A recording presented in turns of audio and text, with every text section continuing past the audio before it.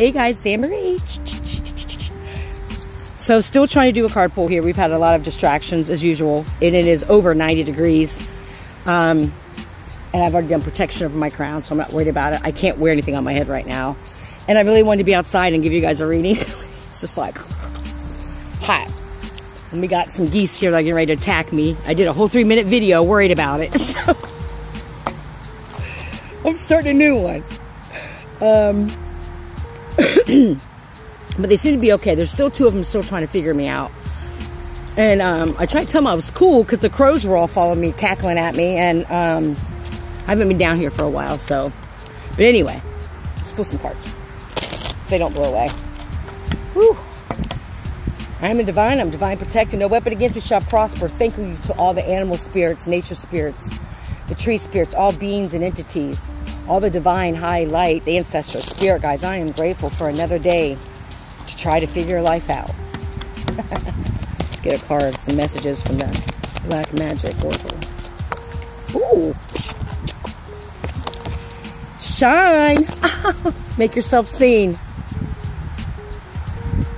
You've been the light for so long for so many people in your life. Someone who's have, have some years on them. That doesn't mean, so this is for someone who's over 30 years old. You have been the beacon of light for so many people. You've helped so many people. And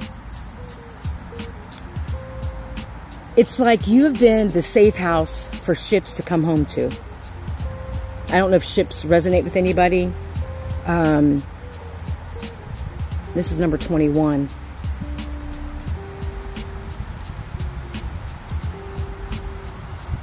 Wow. This is, I'm just going to speak it exactly how it's coming through to me, and it may or may not make sense.